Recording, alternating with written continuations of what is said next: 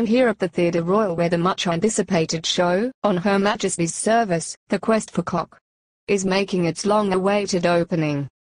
There is a large crowd gathered, and in just a few moments the doors will open and we will be broadcasting the whole show for your enjoyment. Quite what the show will be is anyone's guess, but we are expecting foul language, people being made fun of, and a few unexpected twists. It seems the doors are now open and the crowd is entering the theater, so let's cross to our cameras inside to bring you the show. Good evening, ladies, gentlemen, distinguished guests. Welcome to the Theatre Royal for the opening night of On Her Majesty's Service, The Quest for Cock. So, without further ado, On Her Majesty's Service, The Quest for Cock.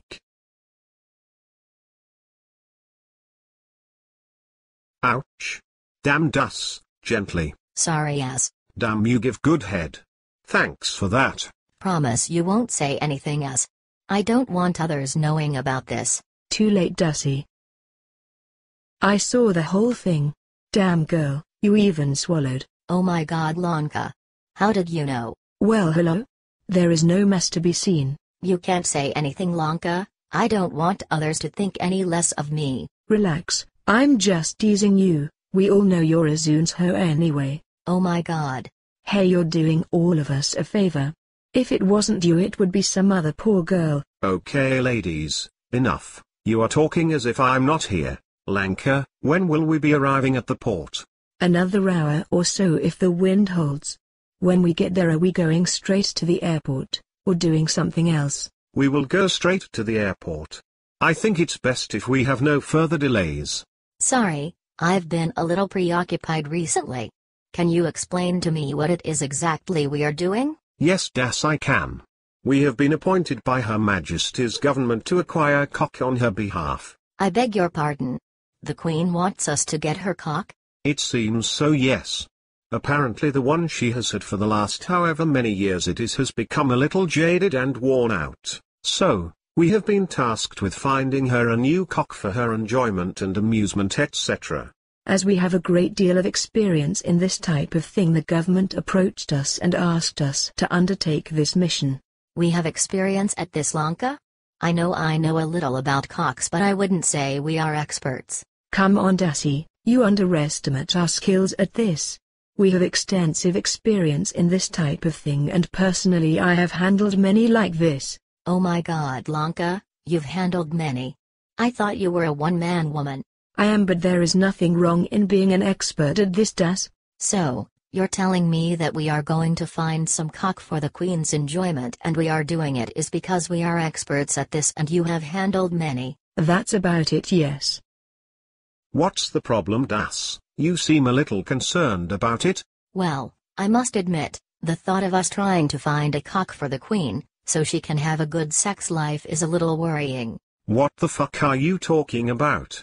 I let you give me head and now all you can think about is cock. We are on a very important quest for Her Majesty the Queen and have to find a crystal of Congo, cock, and you start on about her sex life? Oh, sorry. When you said cock I thought you meant cock, not cock. Then when Lanka started saying she had handled many I got a little worried. Oh my god Das. Why would Imperium be asked by Her Majesty's government to find cock for the Queen? Well now you word it like that I must admit it is highly unlikely yes. Sorry guys. You can be such a noob at times Dassie. Anyway, we have got to get a crystal of Congo for the Queen and bring it to London before the week's out. Okay, we will be arriving at the port shortly. Ladies, let everyone know we will be going straight to the airport and traveling to Congo in search of cock please. Yes as. Sorry about earlier. I do feel a little silly now. Okay listen up please. Whilst we are on this quest it's very important that all of us Guild Wars members conduct ourselves in a manner that will not make us look bad to the Rift guys. I do not, at any point on this trip, want to hear, Lanka, can I have a quick word with you please, from Azun. Prophet, Kwa and you Anvar, will be responsible for ensuring this doesn't happen. If it does then God help you all. I'll keep them in check Lanka, relax. Prophet, you won't be able to do that if you run at the first sign of danger. Let me make this clear. If you do run I will give you the worst nipple twist you have ever had. As for you Kwai, if anything enters your system that isn't approved by the World Health Organization then I will shave your head bald and carve the word twat on your forehead. Fucking hell dude, chill, it will be fine. Anwar, you're new, fuck up and you will be my bitch for the rest of your life. You never said anything about this when you offered me an officer role. Damn, what the hell have I got myself into? Hell if you fuck up. Now, make sure all of the Guild Wars members know about this and don't let me down. As for you Corday. If you die on this quest then the Guild's medic has my permission to perform a full frontal lobotomy on you. And it will be without anesthetic. So, be warned Mr. Cord dies a fucking crazy amount of times day. This is one quest you really don't want to die on. Lanka, you haven't said anything to me. My best advice to you and Annie is, when we get to the Congo, stay on the plane. Fucking hell Lanka, now you're giving me shit the same as Azun. I am not happy with this. Duff. Hi Sally, nice to meet you. I am Grim and an officer in Imperium. Hi Grim, how did you know my name is Sally? It's written on your nameplate on your uniform. Your white gloves remind me of another Sally I knew when I was younger. A girlfriend was she? Not really but she was special to me. What happened to her? My dad shot her and my mom cooked her for Sunday lunch. Fucking hell. You're a cannonball? A cannonball. Of course not, I am Welsh and proud of it. Why did you ask me if I was a cannonball? You just told me your dad shot Sally and your mom cooked her for Sunday lunch. So, I was guessing you ate her. I'm with you now. You thought Sally was a human and the words cannibal not cannonball. Phew, I was getting a little worried there. If Sally wasn't human what was she then? A sheep of course. She was my first love so when she was killed and we had her for Sunday lunch it was very upsetting for me. You had sex with a sheep.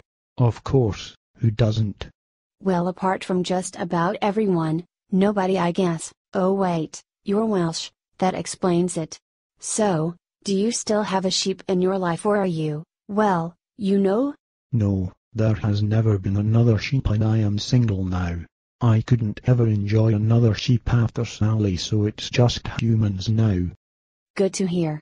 Well you're a good looking guy so I doubt you have any trouble getting women. Can you keep your secret Sally? Sure, of course Grim. What is it? I haven't had a lady in my life for a while now as they all object to me asking they respond to the name Sally and make bar noises during sex. A little too much info Grim but my name is Sally if you would like to meet sometime? I'd like that very much. Do you make bar noises whilst having sex? Well I've been told I'm pretty adventurous so I don't think this will be an issue. I get off work in 30 minutes if you fancy doing something?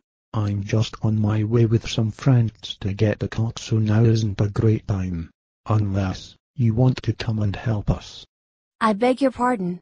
You are now telling me you're bisexual? No, whatever gives you this idea. You just said you're going to get cock with some friends. No, not cock, a crystal of Congo. It's the abbreviation for it, cock. So, want to come with us on our quest? Sure, would love to. When will we be back? Well we have to be in London in five days to present the cock to the Queen. So, I guess we'll be gone for at least a week. Oh, I've got work in the morning. I can't just quit my job sadly. You could always join us in Imperium and then you won't need a job. We have pay, food, adventures and a lot of fun. Why don't you join us? Sorry Grim, I can't make that big of a move on the spur of the moment. I will need time to think about this. Can I call you when you get back from London? Sure, let me jot down my number for you Sally. Okay everyone, grab your things, it's time to board the plane. Good afternoon ladies and gentlemen, this is your captain speaking and on behalf of the crew I would like to welcome you on board this Air Imperium flight to Congo.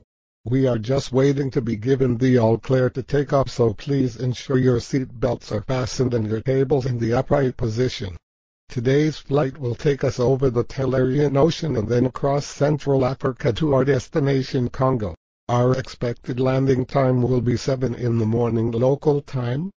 Our flight will take us 12 hours and we might experience a little turbulence on nearing the African coast but I shall update you on this nearer to the time. Today's chief stewardess is called Sally and she will be only too happy to help you if you have any needs or questions. Thank you ladies and gentlemen, enjoy your flight. Hi again Grim. Bet you didn't think you'd see me so soon. A very pleasant surprise indeed Sally. Everyone is asleep, why don't you meet me at the back of the plane? I'll be waiting for you there, don't be long. Be right there. Oh Sally.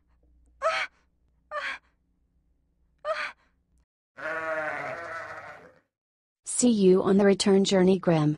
Look forward to it Sally and thanks again. Go on say it, love you. Fuck you mush. Captain Cuddles my little sweetie pie. I love you so very very very much my sexy wexy stud muffin. Oh Nimmy Wimmy my little honey bunny, I love you more my little baby baby. Did you see that small lake nearby darling? Yes, are you thinking what I'm thinking baby girly whirly?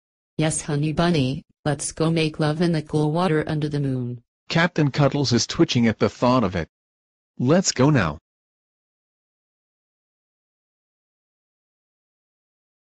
I bet Nim's off to get a different cock from what we are all here looking for any. Oh my god, you're interested in cock. So it's true what they say about you and gay bike rides then.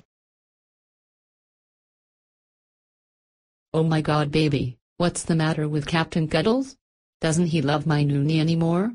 Of course Captain Cuddles loves Noonie Sweetie Pie. He's never done this before. I'm not a man anymore baby. I'm sure he's just tired after the long journey honey. Let me see what I can do to help Captain Cuddles. Captain Cuddles. You're alive. Thank God.